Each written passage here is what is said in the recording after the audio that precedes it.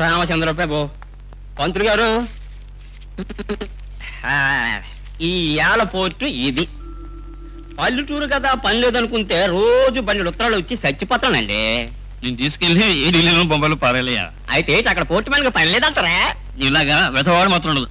ఇదిగో ఇది head master గారు ఉత్తరం. హైదరాబాద్ నుంచి వచ్చింది. నువ్వు పంచాయతీ పెడతాగా ఆయన ఇంట్లోనే ఉంటారు. ఆయనకి ఇచ్చే ఆ సరే గారు పంతులు గారు నేను కాలంగా అమ్మాయి పెళ్ళిలో గుండ్రా ఎంత నడ్డులు ఓ పాటికి నాగించినారంట నిజమేనా? ఇదిగో ఇలాంటి వెధవ ప్రశ్నలు వెళ్ళి పని చూస్తాడు అయితే అక్కడ కూడా మీ పేతాపం చూపించినారన్నమాట గోగుందే బుచ్చప్పు చెరుకు తోట గోగుందే బుచ్చప్పు చెరుకు తోట గోగుందే బుచ్చప్పు చెరుకు తోట నమస్కారం మాస్టర్ గారు. మీకు ఉత్తరం వచ్చిందండి. స్కూల్ దగ్గర ఇవ్వకపోయావా? పంతులు గారు మీరు ఇంటి దగ్గర ఉంటారని చెప్తే నాను ఇక్కడ తీసుకొచ్చినానండి. అయ్యా వస్తానండి. ఎక్కడి నుంచండి ఉత్తరం? హైదరాబాద్ నుంచి శాంతరాశి. అల్లుడు గారు పిల్లలు కులాసా? ఆ. ఏమని రాసింది?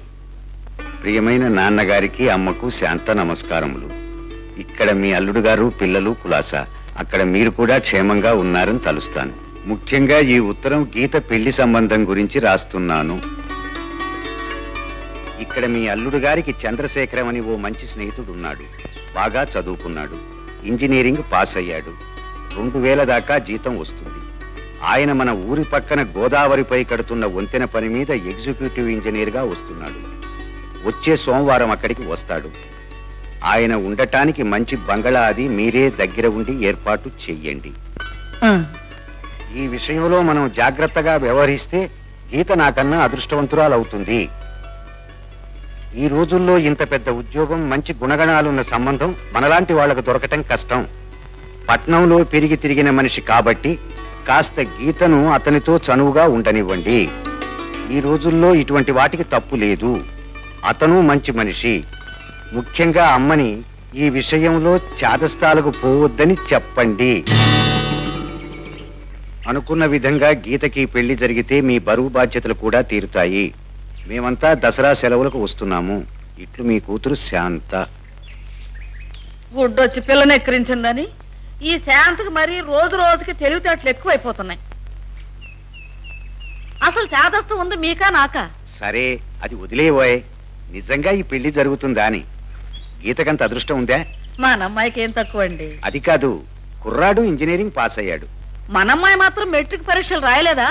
చూడు దుర్గా ఈ రోజుల్లో పదో క్లాస్ పాస్ అయిన వాడు కూడా పదివేల రూపాయలు కట్నం అడుగుతున్నాడే.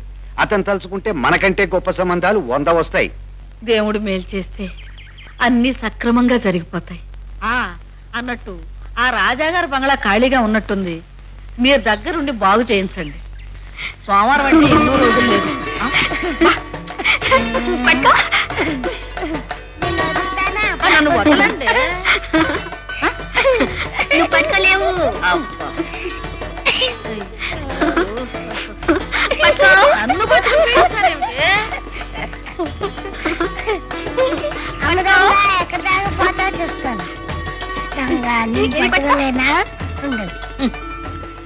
ఇక దీనికి పెళ్ళైనట్టే.